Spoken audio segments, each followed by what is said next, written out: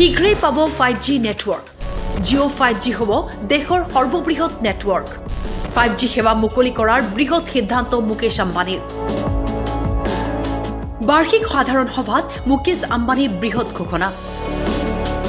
Jio five G হ'ব বিশ্বৰ সৰ্ববৃহৎ ফাইভ জি নেটৱৰ্ক আৰম্ভণিতে পাঁচখন চহৰত ফাইভ জি সেৱা আগবঢ়োৱা হ'ব। দেৱালীৰ ভিতৰত দিল্লী মুম্বাই চেন্নাই কলকাতাত ফাইভ জি সেৱা আৰম্ভ হ'ব। তাৰ পিছত দুহেজাৰ তেৰৰ ডিচেম্বৰৰ ভিতৰত সমগ্ৰ দেশতে ফাইভ জি সেৱা প্ৰদান কৰা হ'ব। আম্বানীয়ে মন্তব্য প্ৰকাশ কৰি কয় যে আজিৰ তাৰিখত প্ৰতি তিনি ঘৰৰ দুঘৰে জিঅ' ফাইবাৰ ব্যৱহাৰ কৰে। জিঅ' ফাইভ জিয়ে high speed Jio' air fibre আগবঢ়াব।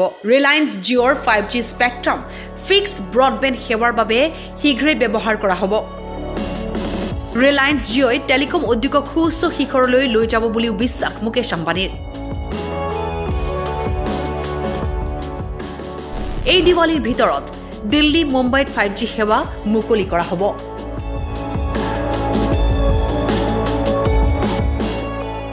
News desk time eight